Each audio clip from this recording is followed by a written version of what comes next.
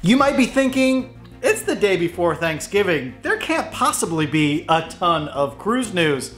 But you would be wrong, as Carnival megaships are set to make their first calls ever to two ports on the opposite sides of the world, essentially. Plus, another cruise line is asking you to bring out the bucks if you want that sweet, sweet lobster.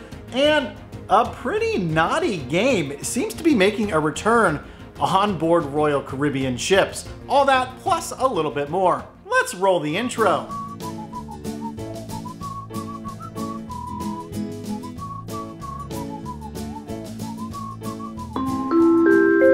Hey, hey, and welcome to the Midships channel. I'm your Captain Corey, and thank you so much for stopping by the channel today. Welcome here to the Columbus, Ohio Midship Studio. I'm spending an early Thanksgiving here with Mama Midships.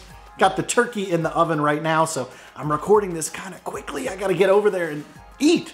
But we got a lot of cruise news to get into, and probably the big news of the day why don't we talk about the Carnival celebration? Because right now she is making her very first port of call in the Caribbean. And guess where? One of the best ports of all time, of course, Grand Turk at the Turks and Caicos. Yeah, the beautiful emerald blue and green waters, sapphire blue, whatever you want to call it. It's a wonderful, amazing port, really lush there. Now remember, Grand Turk is the port that took a direct hit this year from one of the hurricanes. I forget her name. It was one of the hurricanes that struck this year. It damaged the pier, but fortunately they were able to repair the damage. And now, Carnival's newest pride of their fleet, the celebration, is there with guests enjoying the sandy beaches, the flow rider, all of the lazy river and free pool accommodations that you can find there up in Grand Turk. So what a great day. If you're there on the celebration cruising, well, I'm jealous of you. Hope you have a wonderful day out there in Grand Turk. And you know what would make your day even more wonderful no matter what cruise you're on? Well, if you had some of the amazing items from my Amazon cruise store, it's the best way to support this channel while getting something for yourself that you know is going to be the best product on Amazon for your next cruise. Check it out. There's a link in the description below. Now let's talk about the other mega ship from the Carnival Corporation making an inaugural call today. And this one, it's the AIDA Cosma. Yeah, it's that cruise line with the weird kissing lips on the front of their ships. If you watched for a while, you know I hate those paint jobs on those ships. But she is making her inaugural call over in Dubai now, so pretty cool stuff. Carnival's got the globe covered on all sides, it seems like right now. They've got Australia, Dubai, obviously the UK with some of their UK brands, and over here in the States with the Carnival brand itself. So pretty cool news coming from Carnival, some giants of the seas. That's a Royal Caribbean term. Some giant mega ships are out there, and uh, yeah, you could be cruising on them. How about that? Now, while we've got Carnival on our mind, we need to talk about why you're gonna pay for lobster on your next Carnival cruise. Yeah, we just talked about the Symphony of the Seas for Royal Caribbean, testing a menu that they charge you $16.99 for your second, second lobster tail. That's right, that is an update to yesterday's Midships episode. I believe I quoted it per lobster tail, but it is per lobster tail after your first lobster tail that you'll receive that $16, $17 charge. Now Carnival, we reported about a week or two ago, they're making some changes in the dining room as well, where they're gonna start charging you five bucks, six bucks for additional dinner plates after your second, which means your third, fourth, and fifth lobster tail, well, you're gonna pay for those on Carnival. Yeah, it's just something that you need to be aware of. If you're someone like me who likes to say, hey, just scoop a couple extra lobster tails on that plate tonight. I'm feeling a little hungry. I'm a little saucy.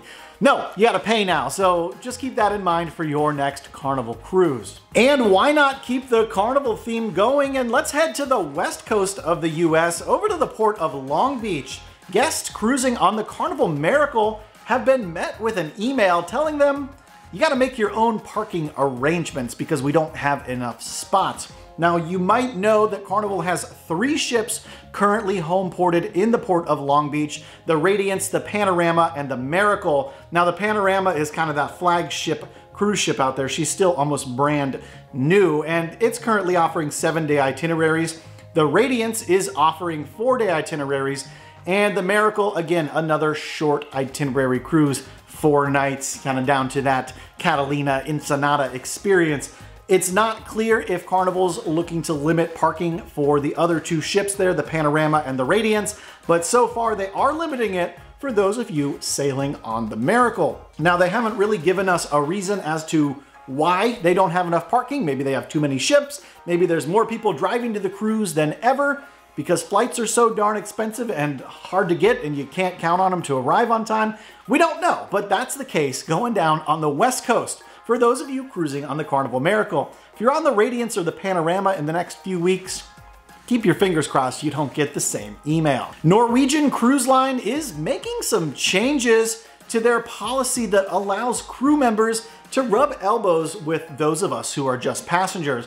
Oftentimes on a lot of cruise lines, the crew members are able to get dressed up, wear their name tags, and go out and enjoy some of the amenities on the ship, like the paid specialty dining restaurants. I know Carnival crew members can do that, Royal Caribbean crew members can do that.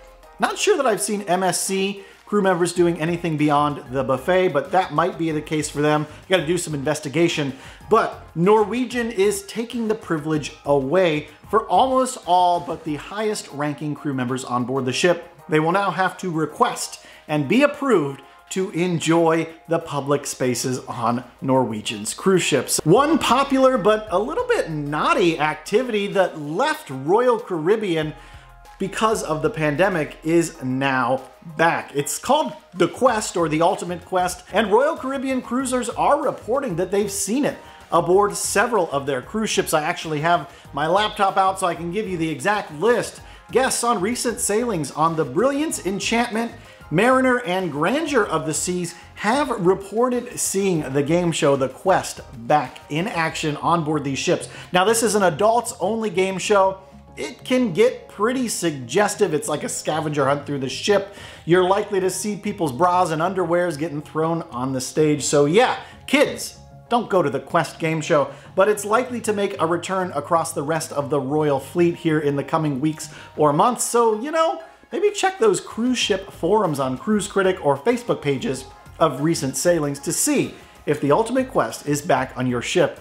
I think I remember there were some photos that surfaced of a congressperson. I think it was the congressman or former congressman from South Carolina, Madison something or other. He did a Royal Caribbean cruise way back before he ran for office, and the photos surfaced of him. So just be careful if you think you ever have a future in public office.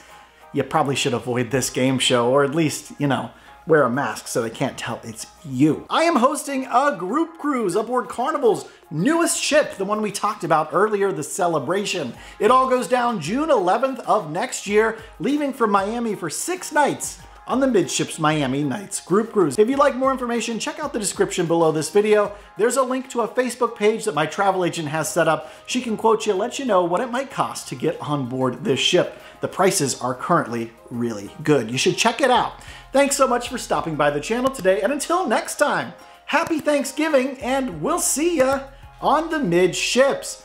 Thank you all so much for stopping by and putting up with this big echoey room here. We will be back in the midship studio tomorrow. I'm catching the red-eye flight out of Columbus tonight. I land, I think, around midnight in Orlando. So we'll see you from the regular digs starting tomorrow.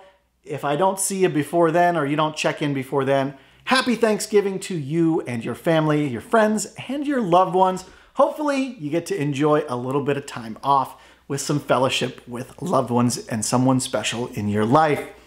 We'll see you tomorrow.